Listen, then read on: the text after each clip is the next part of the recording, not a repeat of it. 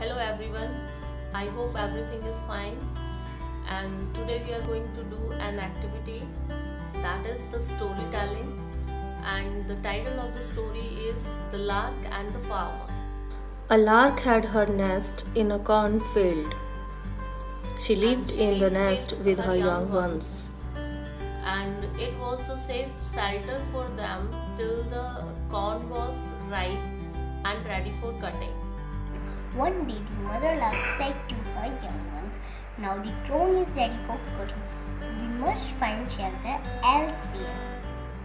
Next day, the young larks heard the farmer saying, I will call my relatives to cut the crop. The young lark said, The young lark said, Mother, hurry up. We must leave before sunrise tomorrow. The farmer is going to cut the crops tomorrow. Mother lark said. Mother Lark said, Do not be afraid, farmer, not be unable to start cutting tomorrow. The farmer came the following day and none of his relatives came to help him.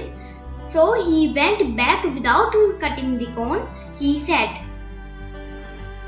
Each day tomorrow I will call my neighbors and we will surely cut the cords. Again the young ones asked their mother to leave the field and the mother said not yet. Next day as thought by the mother lark, the neighbors did not come to help the farmer. The farmer said, Now the farmer said it no use depend on others. Tomorrow I will cut the crops myself. Then the mother lark said, Now we must go to once. The farmer will surely cut the corn himself. Then, then the mother lark said, Now we must go at once. The farmer will surely cut the corn himself.